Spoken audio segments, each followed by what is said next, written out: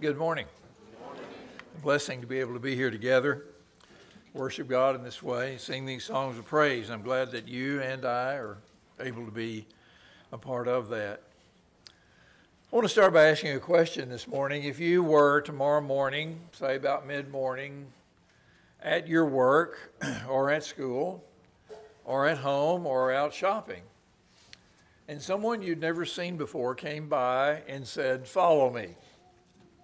Would you do it?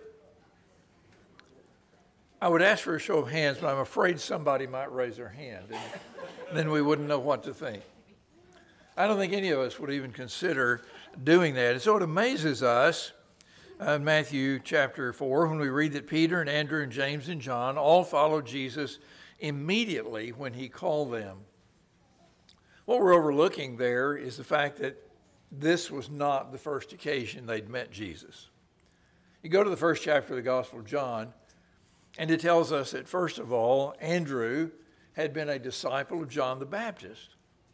And that one day John the Baptist saw Jesus and he said, Behold the Lamb of God. And so Andrew started following after Jesus, and Jesus said, What are you seeking? And uh, he told Andrew to come with him. And Andrew ended up spending most of the day with Jesus. And then later he went and found his brother Peter and he said, We have found the Messiah. So this was not their first encounter with Jesus. And then you can look at Luke chapter 5, which is the parallel text to Matthew chapter 4, 18 to 22. And it tells us that on that day when Jesus went to the disciples by the sea and said, Follow me, before he did that, he had begun to preach to the crowd, and he got in Peter's boat and had him put out away from the shore. And he used his boat for his podium, and he preached to the people from that boat. And then he told Peter to put out a little further into the deep water and cast his net and see what he caught. And Peter said, We fished all night. We haven't caught anything. And he said, Just, just do it. And he did, and they pulled in such a great catch a fish that they didn't quite know what to do. So not only had they seen Jesus, not only had they encountered him before he said, Follow me, they had witnessed a miracle.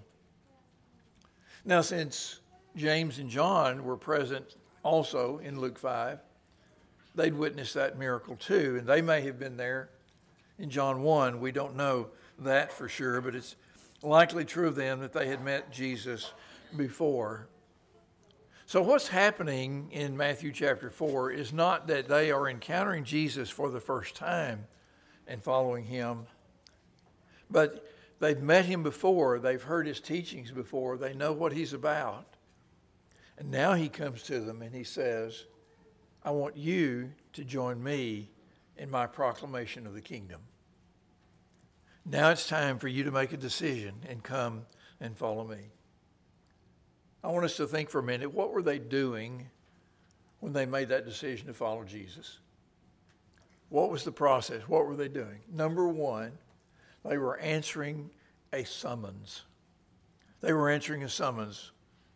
If you get called by the Internal Revenue Service, and I pray you don't, but if you get called by the Internal Revenue Service and they tell you that you need to come in for an audit, are you answering an invitation or responding to a summons? I can tell you from experience, you're responding to a summons because I took it as an invitation once and told them politely that I didn't think I, I needed to come. And they told me politely that I could either do that or go to prison. So I went in and, you know, there wasn't anything wrong. There wasn't any issue at all. It was just the third year in a row that they'd audited me. Uh, but it's a summons. You, you know that you respond or else. You know that you respond or else there are consequences to pay. Now, we sometimes speak of inviting people to follow Jesus, but that's really not accurate because he wasn't inviting these men to follow him, he was summoning them to follow him. And so when they did, they were following and answering a summons. Follow me, Jesus said, or face the consequences. Not only were they answering a summons, they were also changing vocations. Now, there wasn't anything wrong with them being fishermen, but Jesus had more in mind for them. He said, If you follow me, I'm going to make you become fishers of men.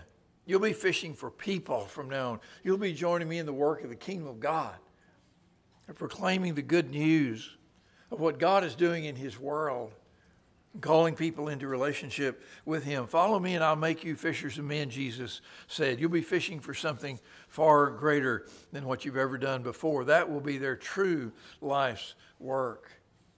So they were changing vocations. Number three, they were walking away. You said they couldn't follow Jesus without leaving other things behind. And you notice it twice in Matthew 4, verse 20.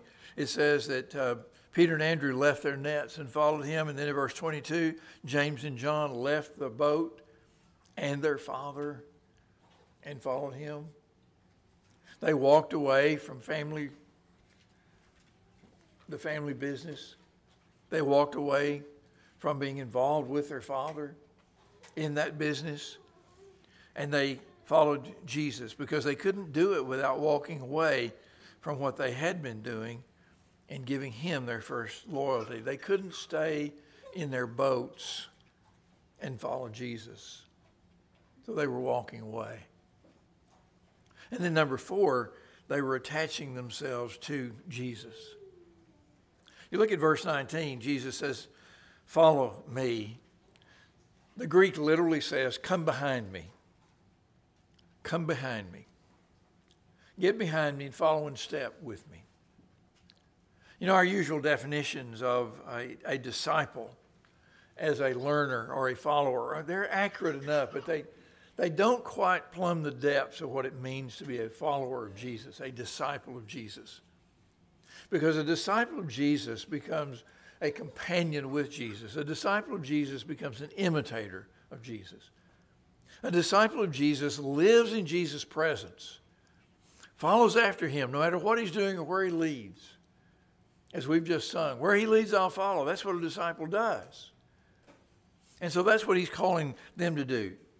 Come along behind me, he says, and follow me. You see, they're not just to go to Jesus school and learn some facts. They're not just being called to do something religious. They're being followed to attach themselves to this man and follow him. When I would give exams to my students uh, in the Gospel of Luke, I would always ask them about the story of the rich young ruler and say, What did Jesus tell the rich young ruler to do? And, and about nine times out of ten, about nine students out of ten would say he told him to sell everything he had and give it to the poor.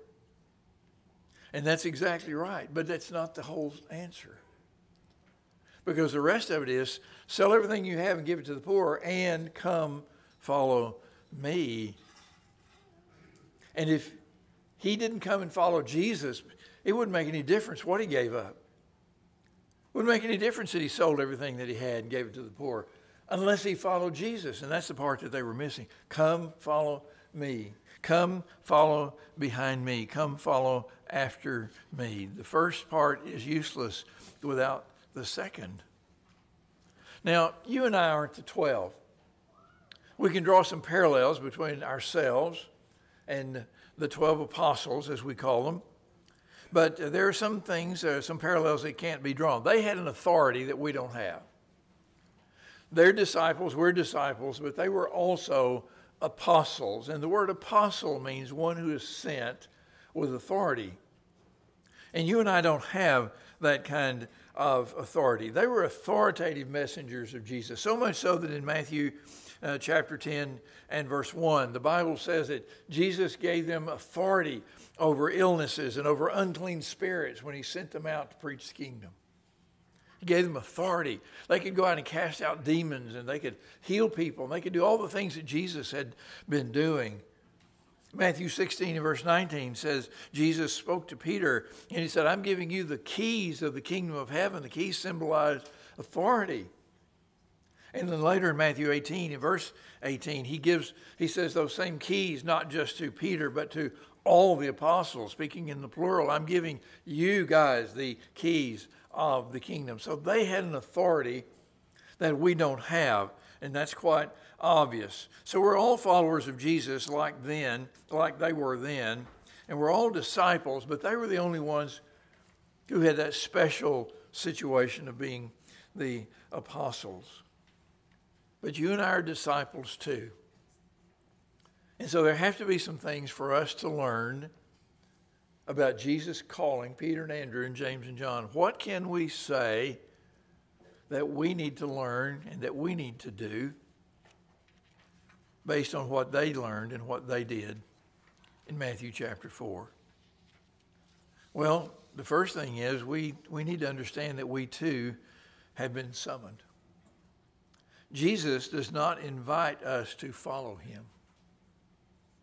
He summons us. You and I are living in a world that doesn't know God, and God is calling out to that world through the gospel, and He is not saying, if it suits you, and if you don't have anything else to do, and if you haven't already made other commitments, why don't you think about me? That's not where proclaiming the kingdom is. I want you to back up just before our reading for today, Matthew 4 17. Jesus went about preaching the, this message repent, for the kingdom of heaven is at hand. Those folks were not being invited, they were being summoned. And as we live in the world today, we're not inviting people to follow Jesus. We are summoning people to follow Jesus because that summons has eternal consequences. We have a decision to make for or against him. You see, hearing the call of Jesus sets up a crisis for each one of us. We use that word crisis in a lot of ways that, that really are not what the word originally meant. The Greek word krisis means judgment. It means judgment because a, a, crisis is a situation where you're being judged. A crisis is a situation where you are forced to decide one way or another, and what you decide becomes your judgment. Imagine yourself in a burning building and you're on the fifth floor and the fire is behind you and there are firemen below you, and they've got a safety net, and you have to make up your mind am I going to jump into that net, or am I going to take my chances with the fire? Now, I don't know about you, but it would not at all appeal to me to jump out of a fifth floor window. I don't care what they had down there. I wouldn't want to do that. But neither would it appeal to me to stay in a burning building. You see, that's a crisis. That's where you have to make a decision. That's where you have to be judged about what you're going to do. And when you hear the call of Jesus, when you hear that Jesus died for your sins, when you hear that he rose again from the dead, when you hear that he's coming again to judge the world, you're being summoned. You're being summoned to follow him. And that summons has eternal consequences. It creates a crisis and you have to decide. Now, I know a lot of people, I think most people who don't follow Jesus say, I'm not making a decision. I'm not making a decision. That is a decision. That is a decision. If Jesus says, Follow me, and you don't, you've made your decision. If Jesus says, Come after me, come along behind me, and follow me and receive your eternal life, and you don't, then you are making your decision. So not only are we being summoned by the gospel, but that summons has eternal consequences. Jesus said in Matthew 12, verse 30, Whoever is not with me is against me, and whoever does not gather with me scatters. In other words, there's not any neutral ground, there's not any middle course. There's not a place to say, I'm just not going to decide about Jesus. You either are or you are not going to follow him. You know, I'll tell you, I sometimes wonder. We, we have the, the custom, and that's what it is it's a tradition. It's not something that's required by Scripture, but we have the, the custom, the tradition, usually at the end of sermons, of offering what we call an invitation. Number one, we're, we're labeling, labeling it wrongly, aren't we? It's not an invitation.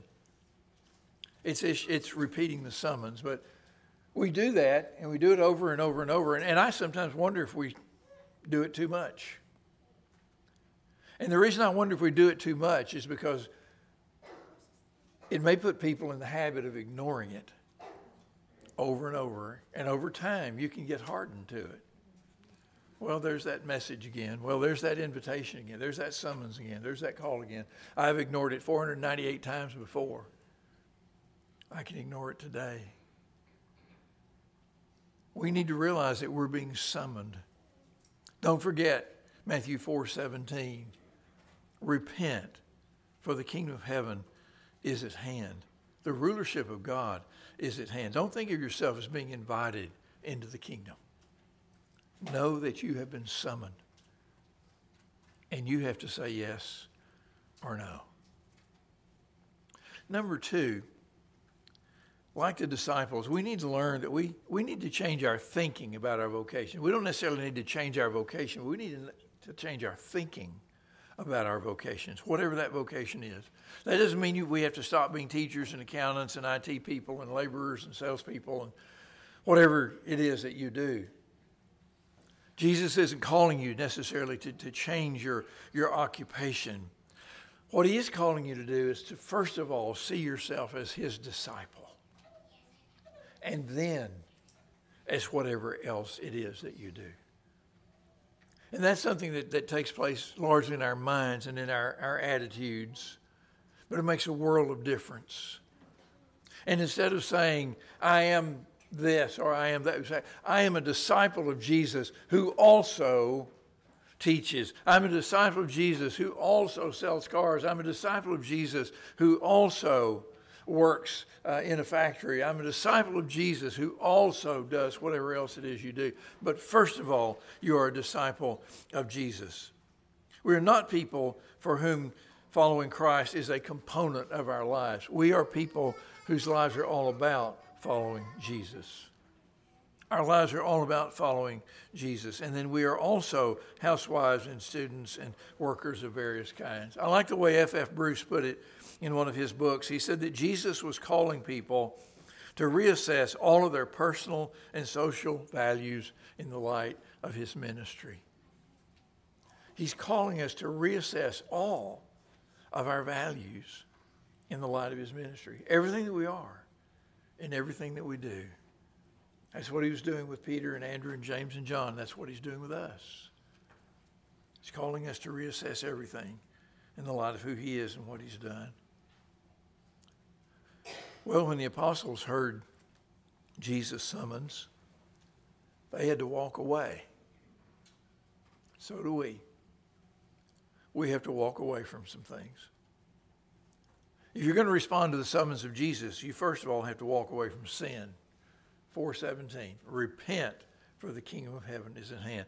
People couldn't just say, okay, I, this kingdom sounds great, and as long as I can keep doing what I've been doing, and do things that, that I want to do, whether they're right or wrong, I'll follow him. No. Jesus said, Repent, for the kingdom of heaven is at hand. And then he turns around and he says, Now follow me. We've got to walk away from sin. We've got to walk away from a lot of things in this world that may appeal to us. You may have to walk away from people who uh, want to stop us from following Jesus or who make it so difficult for us to follow Jesus. We just may need to change the people we associate with. We may need to walk away from them. They won't understand that. That's okay, whether they do or not. But we know what we're having to do. You may have to walk away from religious viewpoints that simply aren't true.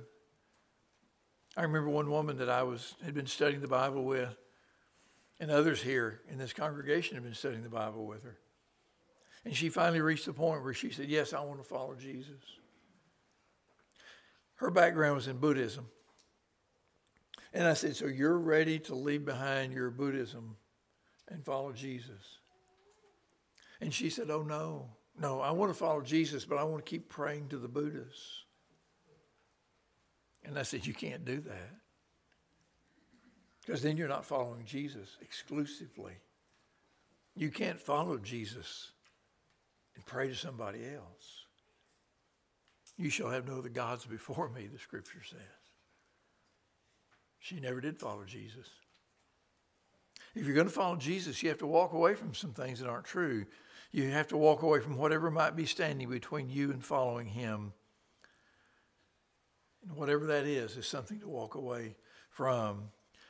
And if there's something that has such a strong pull on you that you find it really hard to walk away from, that's probably all the more indication you need to walk away from it. That it's something that's keeping you from being a disciple of Jesus. And then, fourth, like the disciples, we have to become attached to Jesus. We have to become attached to Him personally, spending our lives learning from Him and imitating Him and serving Him and loving Him. And in the process, becoming more and more like Him. So attached to Him that no matter what happens, we belong to Him above everything else. And we never compromise that fact. Some of you probably have read the book or seen the movie The Hiding Place. It's a story about a Dutch woman named Corrie ten Boom and her sister Betsy.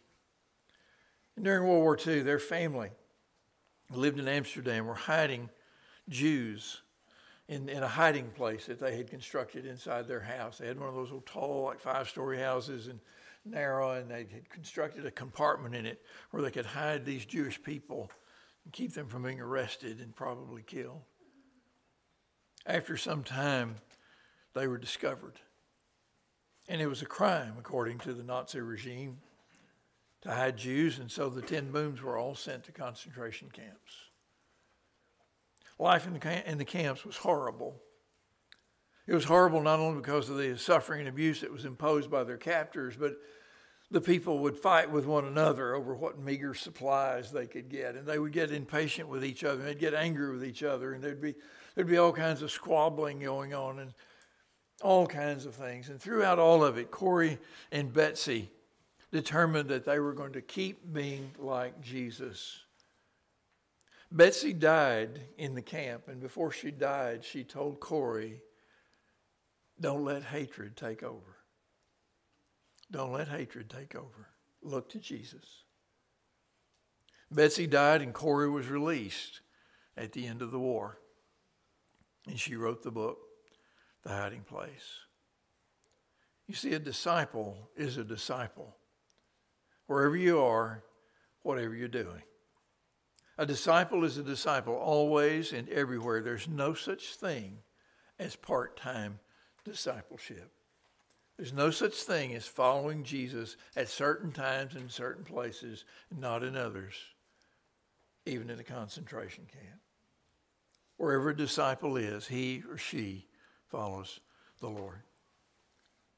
I want to read these words to you from Jesus about following him. This is from Luke chapter 14, beginning of verse 25. Now, great crowds accompanied him, and he turned and said to them, If anyone comes to me and, and does not hate his own father and mother and wife and children, brothers and sisters, yes, and even his own life, he cannot be my disciple. Whoever does not bear his own cross and come after me cannot be my disciple. For which of you, desiring to build a tower, does not first sit down and count the cost? whether he has enough to complete it. Otherwise, when he has laid a foundation and is not able to finish, all who see it begin to mock him, saying, This man began to build and was not able to finish. Or what king going out to encounter another king in war will not sit down first and deliberate whether he is able with 10,000 to meet him who comes against him with 20,000? And if not, while the other is yet a great way off, he sends a delegation and asks for terms of peace. So therefore, any one of you who does not renounce all that he has cannot be my disciple.